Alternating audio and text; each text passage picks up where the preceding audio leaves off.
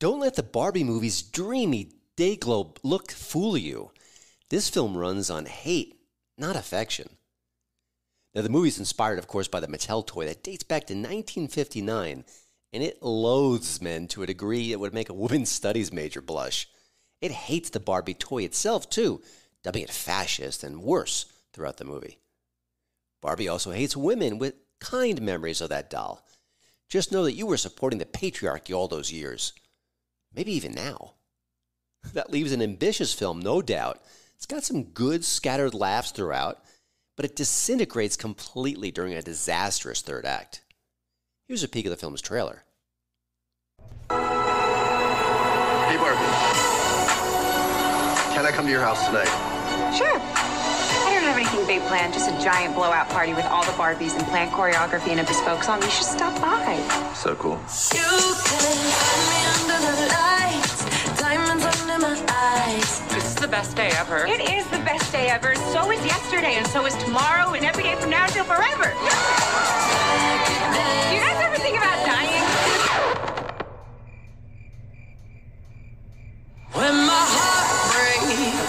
Some things have been happening that might be related. when my. Cold shower, falling off my roof, and my heels are on the ground.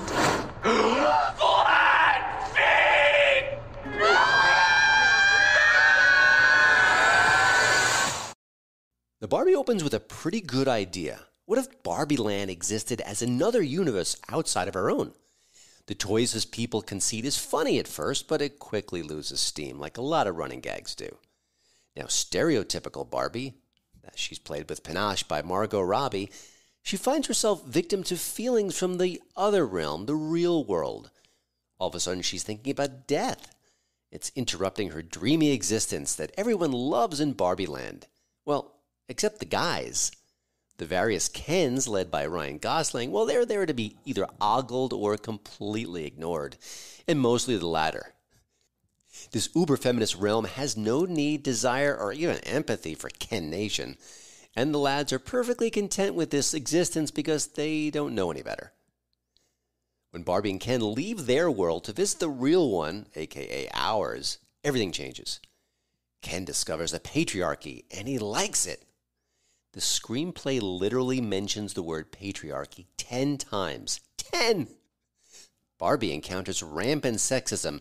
It's almost like you're living in the AMC Mad Men world. You know, if they had said Barbie during the 1950s, this would have made a little bit more sense. In the real world today, ah, not so much. So, can Barbie learn why her perfect life is starting to unravel? Will Ken bring the patriarchy back home with him? With a movie that starts with a lot of promise curdled during the critical third act? Well, the answer to the latter is absolutely, and it's sad. You know, director co writer Greta Gerwig is a talented person, and she establishes some pretty inventive ways to bring this toy to life. That's not easy. You try it. Just think of the ideas you could do about this movie. It's, it's complicated. This is a toy, after all. The director even drops references to actual Barbie accessories during the film, which is pretty clever and funny. And she uncorks a very good commercial about the new depressed Barbie doll mid movie. Again, playing into the theme of the film, very smart. Now, the production design is first rate. This looks amazing. I mean, I think if you consider Barbie like an old home, you'd say it has good bones. Now, Gerwig, along with her collaborator slash partner Noah Baumbach, they've got an agenda to push, and that agenda drains the joy from their creation time after time. And it starts from the opening minutes. There's a cringe-worthy scene set in the Barbie Land all-female Supreme Court. Oh yeah, by the way, where's Amy Coney Barrett? You're not going to see her.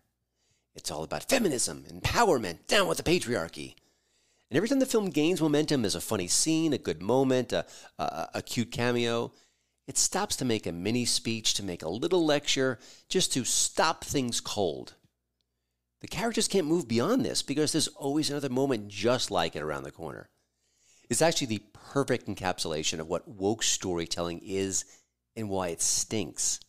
The agenda matters more than the narrative, and it can't be denied. Now, given all that, Barbie could still offer some powerful arguments about sexism in the Western world, for sure, but with a less heavy handed approach. Show, don't tell.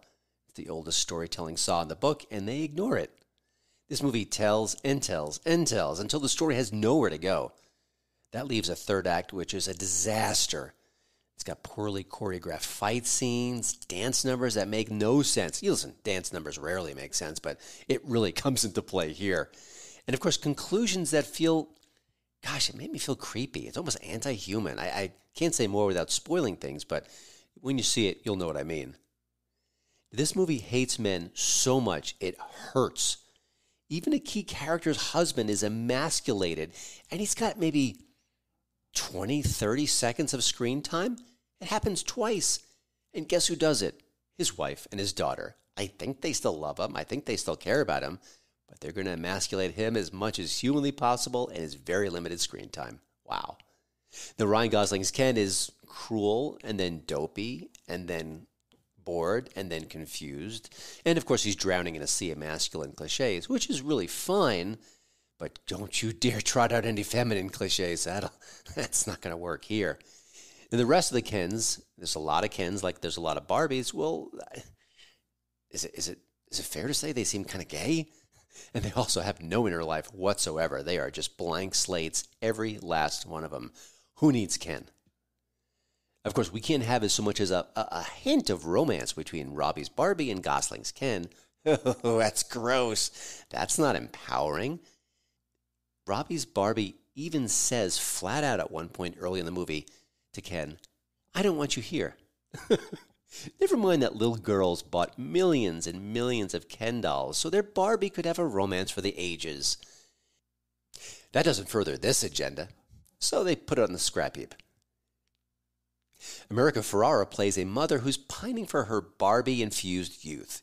She played with Barbies back in the day. She still got one, and she still cares about it. And of course, her character delivers a TED talk late in the movie that gives the whole game away. It's a feminist screed about everything that's bad about being a woman.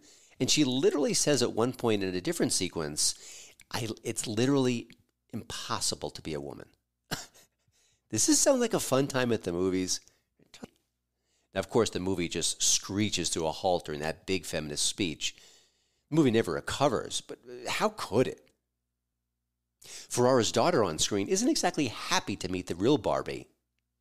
Here's what she says when they first meet You represent everything wrong with our culture. You destroy the planet with your glorification of rampant consumerism. You fascist. Oh, and please buy Mattel products after seeing our new movie. That's amazing.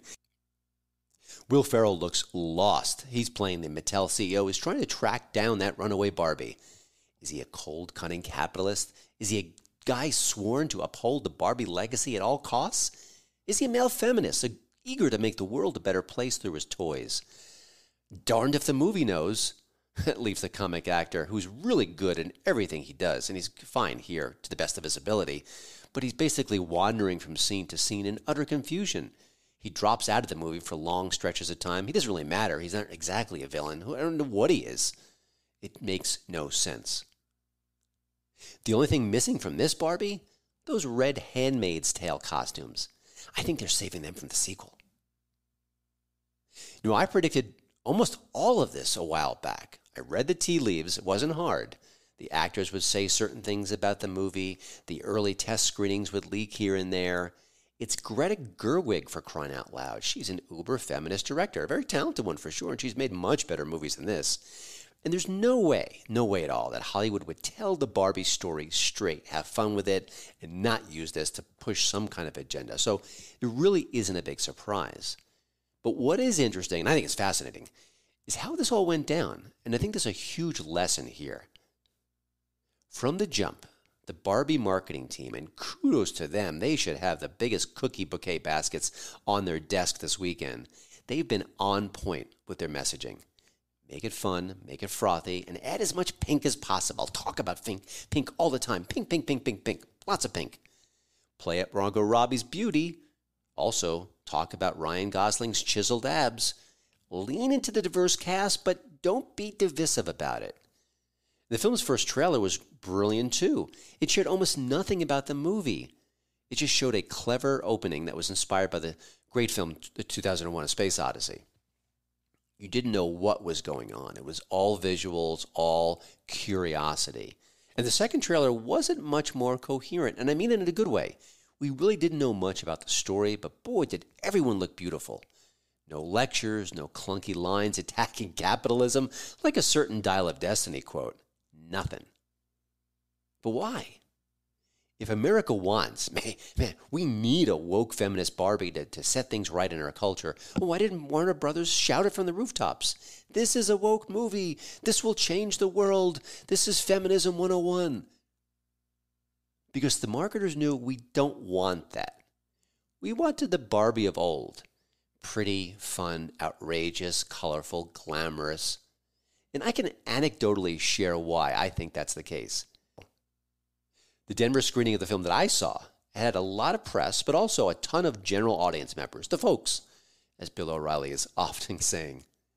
Now, the people who weren't part of the press, almost entirely women. Again, you expect that from a Barbie movie. I, I get that.